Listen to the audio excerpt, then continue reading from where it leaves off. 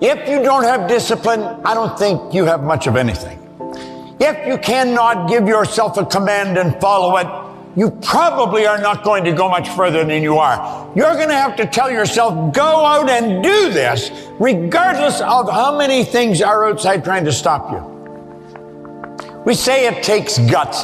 It does take guts. You can want stuff and you can want it, we know it's good to want. But if you don't have discipline, if you haven't married the discipline and the wants, odds are pretty good it's not going to happen. You're going to stay where you are. That's not a good place to be.